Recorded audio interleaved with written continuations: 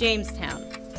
The first permanent English settlement in the Americas almost completely disappeared from the map because colonists drank themselves to death?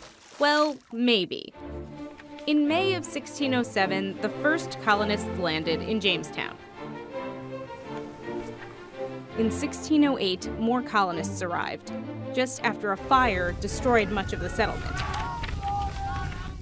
They rebuilt, and things were finally running smoothly. Jamestownians had plenty to eat. Deer, turtles, sturgeon, and an abundance of shellfish populated the land.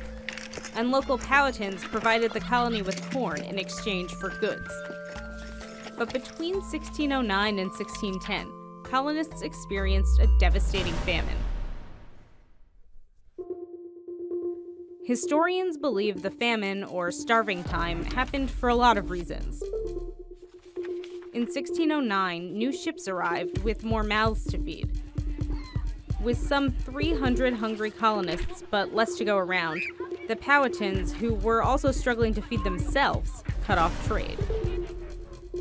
So settlers started to take food away from the Powhatans by force, leading the Powhatans to retaliate, laying siege to Jamestown. Confined to their fort, settlers no longer had access to the same food they used to,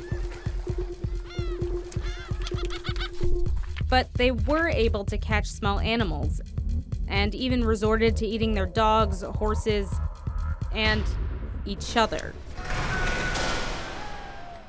So, a lack of food may not be enough to explain why the population plummeted from around 300 settlers to a mere 60. But a lack of fresh water? Maybe. Jamestown well water was salty, due to a nearby swamp and the James River seeping into the colony's aquifer. Water that's too salty causes dehydration, which can cause death. Human waste also got into the water supply, allowing disease to spread rapidly.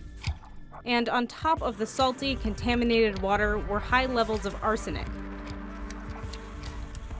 Some have theorized that the Spanish were spiking wells with the poison to keep England from colonizing the Americas but according to scientists, it's more likely that the arsenic was naturally occurring.